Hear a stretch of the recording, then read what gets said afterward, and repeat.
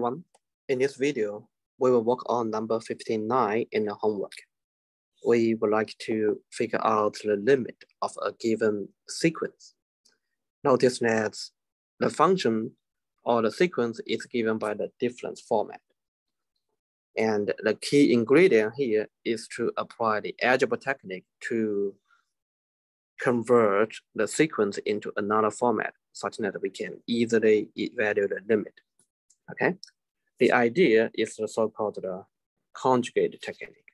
We would multiply by square root of k squared plus k plus k, both on top and bottom. So we will still keep the e equations. By, by doing so, on top, we have an opportunity to apply the formula, a minus b times a plus b.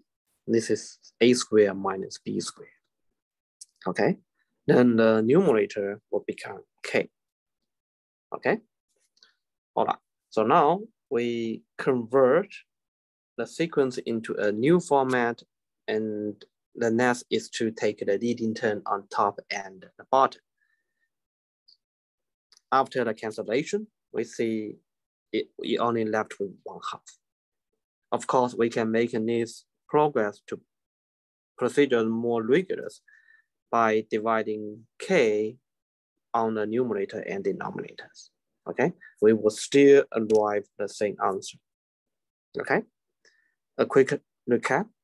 Here we utilize the algebra technique to convert the function into another format so we can easily take the limit. Thanks for watching.